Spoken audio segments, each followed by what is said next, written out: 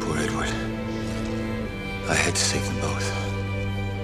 You see, I'm both Bruce Wayne and Batman. Not because I have to be. Now, because I choose to be.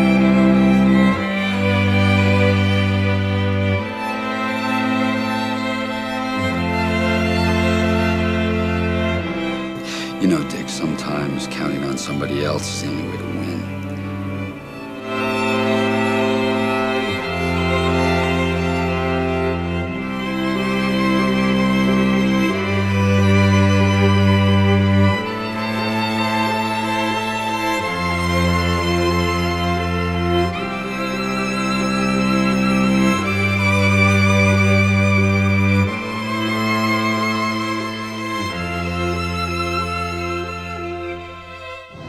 Idea was to be a symbol.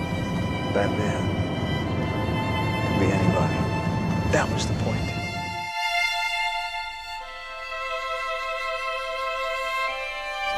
What are you?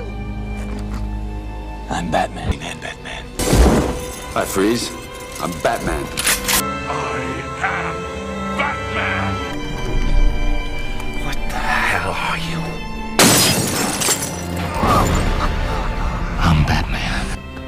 People need dramatic examples to shake them out of apathy, and I can't do that as Bruce Wayne. As a man, I'm flesh and blood. I can be ignored, I can be destroyed, but as a symbol, as a symbol, I can be incorruptible. I can be everlasting. What symbol? Something elemental.